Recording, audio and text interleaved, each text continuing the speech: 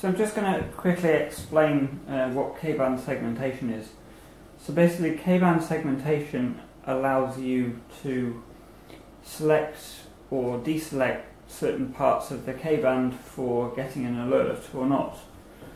Um, so it's only, or until recently, it was only the R7NZ version that had the K-band segmentation. Um, that was an advantage over the uh, US version of the R7, which doesn't have K-band segmentation. Um, normally you shouldn't use two detectors on side by side, but I'm just going to do a quick demonstration here.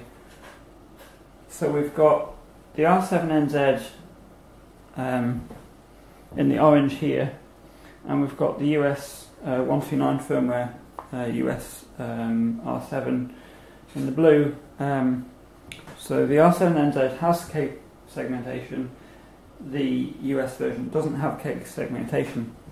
So if we were to encounter a false alert, say at 24.192, that is within the K2 segment on here which is turned off. So there's no way to stop the US version alerting to that apart from having better filtering and so on. But the filtering is generally the same on these detectors, it's a little bit different, uh, it's been tweaked a little bit, but it's still not enough to get rid of most of your false alerts.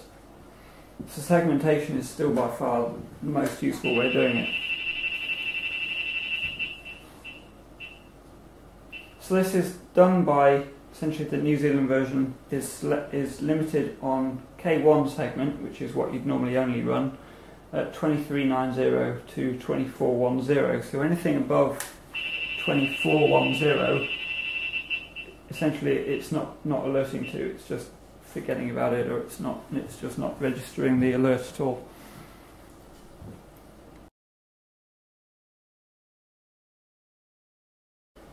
Now we've got the R7 International version here. So it's exactly the same hardware, it's the same R7, got the same detection range and so on that you'd normally expect from an R7.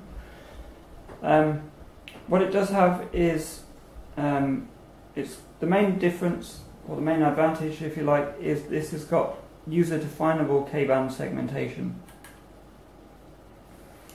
So when it's turned up, it's also got the anti-theft personalization, which is unique to this, which allows you to um, give you an extra security benefit in case it's lost or stolen.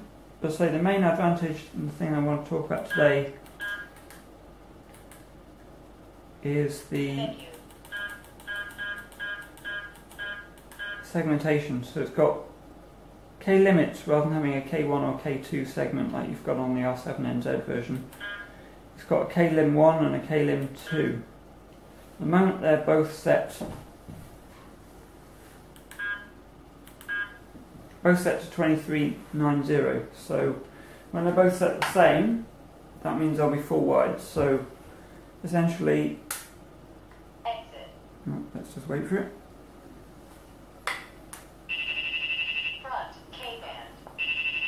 So against the Bushnell 24193, we're getting that false alert, um, which we didn't get on there because that's segmented it out. This is currently running full wide. But what we can do,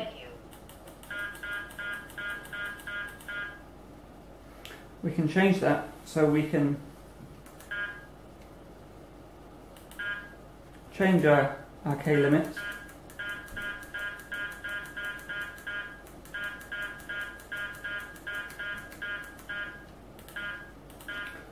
So essentially, the, they, the K limits work a bit like if you imagine goalposts.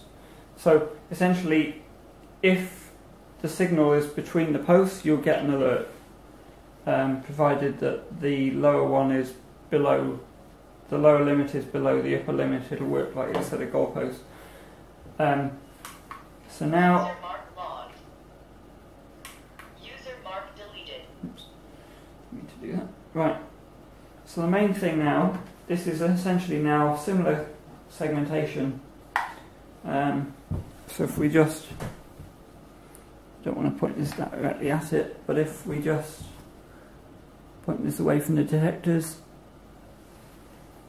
there's no limit. There's no. There's no detection now. They're both segmented out. That false alert.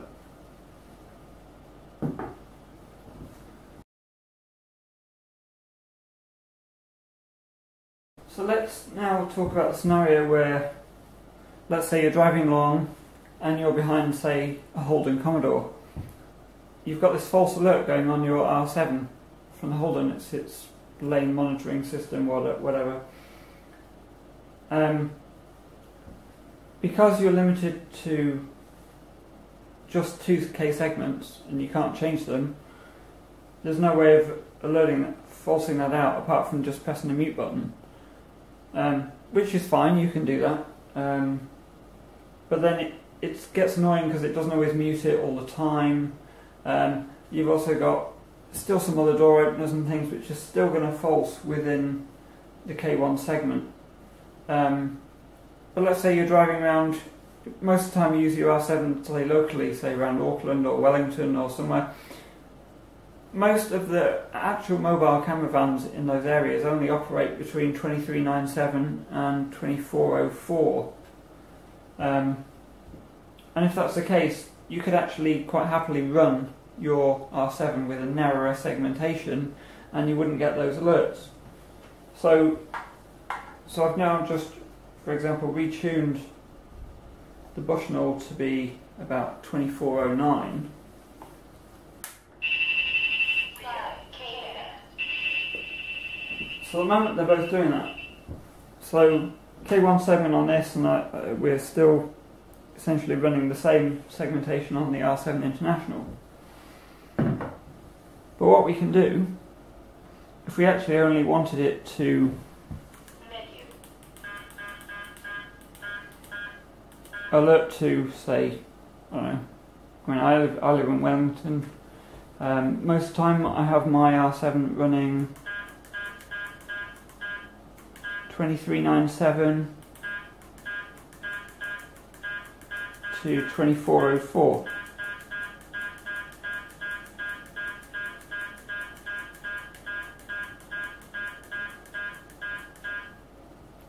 So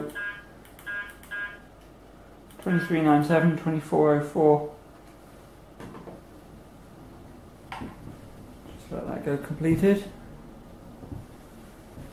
Still see that okay? So Bushnell again, still at Holden Commodore frequency. Five. The R7NZ still alerting, but the international version has now just focused on what we need it to do. So that's the main advantage of the segmentation. You get exactly the same sensitivity. Uh, we've tested this, we've got some videos testing, comparing the R7NZ and the international, and you're essentially getting the same alert in pretty much the same place for the red, the same Redflex sound. But you're getting a lot less falsing, uh, falsing on this on this system.